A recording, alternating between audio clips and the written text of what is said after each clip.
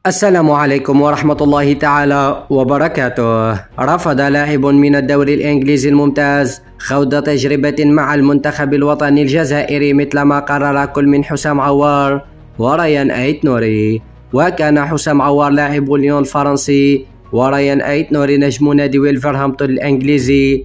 قد وافق على تمثيل المنتخب الوطني الجزائري خلال الفترة المقبلة بعد مفاوضات قوية من قبل الاتحاد المحلي. غير أن مايكل أوليز لاعب كريستال بالاس الإنجليزي سار في الاتجاه المعاكس حيث رفض تمثيل المنتخب الوطني الجزائري في هذه الفترة رغم أن لديه أصول جزائرية من جهة الأم تسمح له باللعب مع الخضر.